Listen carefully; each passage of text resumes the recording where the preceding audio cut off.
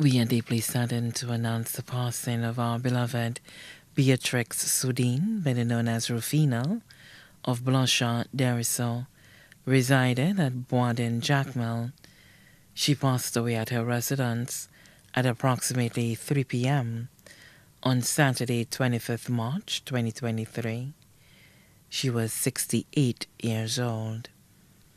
The funeral service for our beloved Beatrix Soudine, better known as Rufina, will take place at the Holy Family Church, Jacmel, on Saturday, 15 April 2023 at 1 p.m.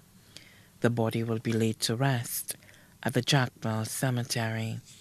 The body now lies at Rambaddis Funeral Parlor, Calvary Road.